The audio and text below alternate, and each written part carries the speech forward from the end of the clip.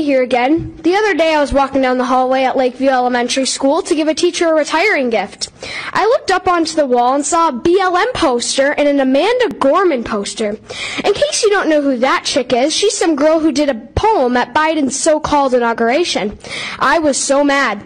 I was told two weeks ago at this very meeting spot, no politics in school. I believed what you said at this meeting. So at lunch, I went up to my principal to tell him about the BLM poster and that I wanted it down. He said it's not coming down. I was like, yeah, it is because the school board said on May 25th, no BLM or politics in school. He said that's weird. They were the one who they were the ones who made them. I was stunned. When I was here two weeks ago, you told us to report any BLM in our schools. Apparently, you know they're in our schools because you made the signs.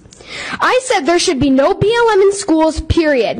It does not matter the color you make the posters and the font you use. We all understand the meaning. It is a political message about getting rid of police officers, rioting, burning buildings down while King Governor Walz just sits on his throne and watches. We all know. Changing the font or the color of posters does not change the meaning. I am nine years old and I know that. You expect me to believe that you did not know what you were doing by making these posters? Come on, people. I do not judge people by the color of their skin. I, I don't really care what color their hair, skin, or eyes is. I judge by the content or the way they treat me.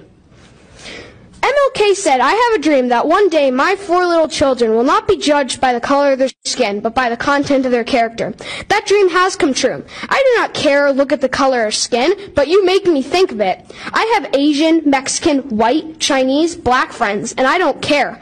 I like them because some of them make me laugh, some are sweet and kind, sporty, or share the love of God. They are just my friends. You have lied to me, and I am very disappointed in all of you. You cannot even follow your own rules. If you're going to do that, why do we follow any rules we deemed unfit or ridiculous? I'm not following your mask rule anymore then. Get the posters out of our schools. Courage is contagious, so be courageous.